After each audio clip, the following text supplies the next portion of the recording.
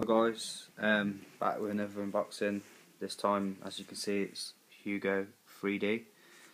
Um, yeah, I just thought I'd go out and buy some films that I haven't seen. Normally, I just upgrade my the films that I have seen on DVD to Blu-ray because obviously the picture's much better on Blu-ray. Um, again, I heard this film was good, so um, I got all these films from HMV, which is unfortunately closing down because they've gone into administration, but um, you used to pick up five for thirty, no, five for twenty, and if you pick up no three for twenty, five for thirty.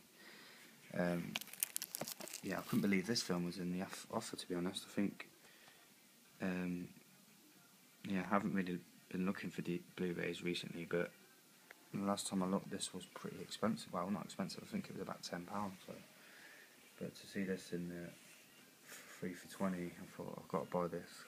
Um, so I know that Sacha Baron Cohen's in it and Ray Winstone so again good good cast and obviously Martin Scorsese.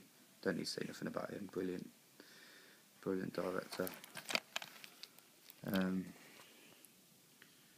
and, and probably can't work out who else is in it. Um, no it's not very clear but Anyway, let's just get on with this unboxing.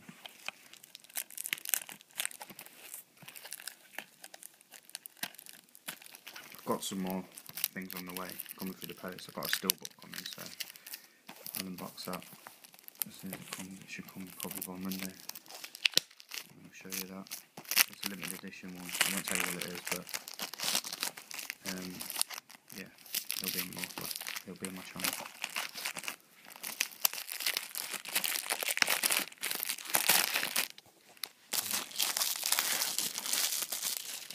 Let's see if this. The other two have no artwork whatsoever, so it'd be interesting to see if this one's got artwork in. What's the bet it hasn't? But oh, shock! Nothing at all. There's the disc.